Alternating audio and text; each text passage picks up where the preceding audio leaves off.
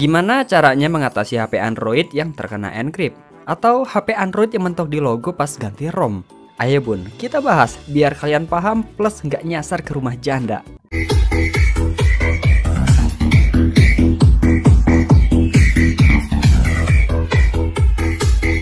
Oke bun, seperti biasa Balik lagi sama gua si Ojan Tukang jamu keliling Nah video hari ini adalah part 2 nya Bang Ojan membahas tentang encrypt di HP Android Bun.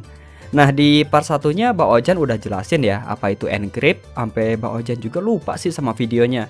Entah emang videonya masih ada atau dihapus sama Binci jadi gini Bun, banyak banget user yang mengeluh akan kejadian encrypt ini Bun. Karena sasaran yang bakalan dibasmi saat HP kita terkena encrypt adalah data kita sendiri Bun. Nah sedangkan di dalam data itu bener-bener penting banget. Ada foto kenangan mantan, terus ada foto sama bini orang. Ya terkadang ada video kekudaan sama si doi. Nah kalau misalkan sampai kehapus, aduh dunia akhirat itu nggak akan ikhlas Bun. Nah harus kalian catat ya Kejadian encrypt ini biasanya datang pas kita ganti ROM atau kita mengganti build prop dengan build prop yang sudah dimodifikasi dengan menggunakan custom recovery bun. Jadi tiba-tiba datang meski nggak diundang bun, ya hampir mirip-mirip kayak jelangkung lah. Nah kendala encrypt ini sekarang itu udah dialami sama semua Android ya bun ya Nggak mandang HP Android kalian itu Note 7, HP kalian Note 8 Pro, HP kalian Poco X3 Pro atau bahkan Note 10 sekalipun Nah semua orang itu pasti ngalamin penyakit ini bun. Dan gak mandang juga kalian seorang dokter, kalian seorang sarjana ataupun tukang santet sekalipun. Yang namanya encrypt itu ya santuy aja gitu datang kayak gak punya dosa. Nah meski sekarang udah banyak banget tuh file yang bernama DFE atau kepanjangannya dari Disable Force Encrypt Nah jadi file ini uh, tujuannya itu mengatasi HP kita yang terkena encrypt Tapi, tapi nih ya Nggak semua HP Android itu bisa lolos bun atau bisa sembuh sama file ini. Ya masih banyak itu HP-HP Android yang sama sekali nggak ngefek bun. Ya contohnya adalah Xiaomi Redmi Note 7, HP Baoja sendiri tuh. Atau Poco X3 Pro. Nah sudah dipakein file DFE juga yaitu masih tetap baik HP kita mentok di logo atau nggak bisa booting. Maksudnya booting ya nyala bukan bunting. Tolol. Nah, sekarang kita masuk ke mode yang serius, Bun. Ya maksudnya bukan nggak boleh ketawa, tapi dengerin. Meski encrypt ini nggak selalu kita alami di saat ganti ROM. Ya kadang kejadian, ya kadang enggak. Meskipun HP kita itu sudah di backup, yaitu nggak akan ngaruh sama sekali, Bun. Jadi intinya, semua HP Android itu apalagi HP Android kalian sudah berjalan di Android 9 ke atas.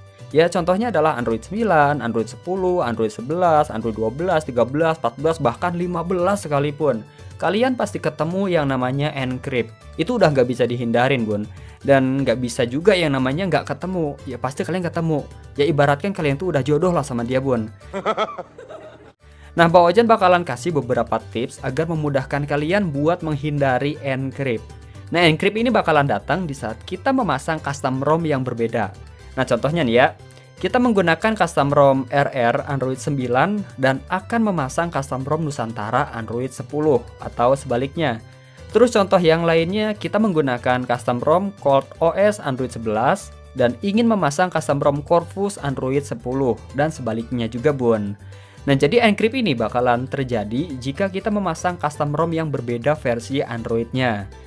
Terus contoh yang keduanya nih, kita menggunakan custom ROM RR Android 9 dan ingin memasang custom ROM Nitrogen OS Android 9 dan sebaliknya juga.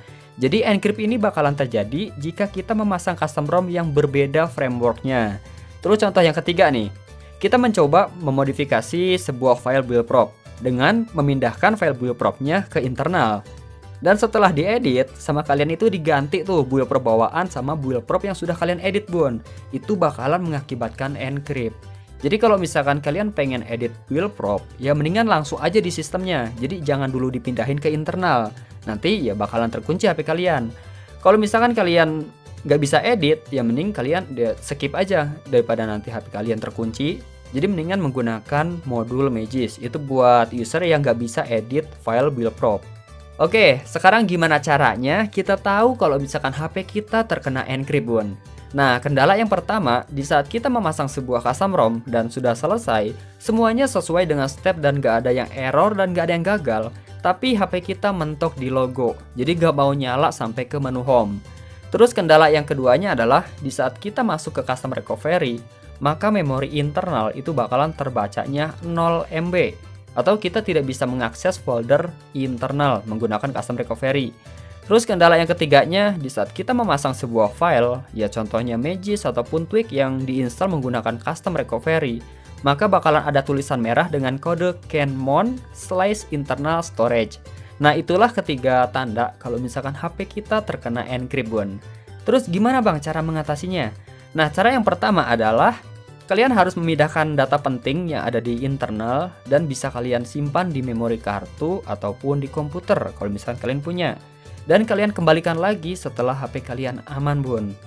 Nah kalau misalkan HP kalian itu sudah terlanjur terkena encrypt, maka kalian harus ikhlaskan data kalian untuk dihapus. Karena ya udah nggak terselamatkan lagi bun. Nah cara menghilangkan encrypt yaitu dengan menekan folder wipe Kemudian kalian pilih yang sebelah kanan, kalian pilih format data. Nah, selanjutnya ketik aja yes dan geser aja ke kanan. Maka HP kalian itu bakalan normal lagi, nggak ada kendala dengan resiko semua data bakalan hangus. Ingat ya, format data bukan wipe data bun.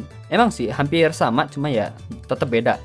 Jadi saran Bang Ojan, sebelum kalian melakukan ganti ROM ataupun flash ROM, nggak menggunakan PC ya, atau ya segala macam lah yang berhubungan sama custom ROM usahakan pindahkan data itu ke SD card ataupun ke komputer. Woi bang, kalau misalkan nggak punya SD card dan komputer gimana?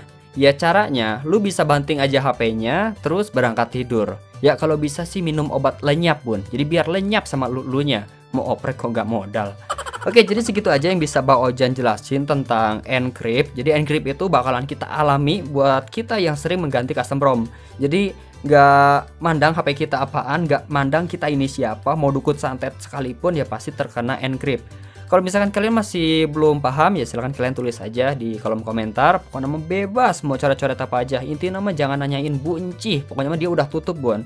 Oke, sampai ketemu di video selanjutnya. Thank you, Bon.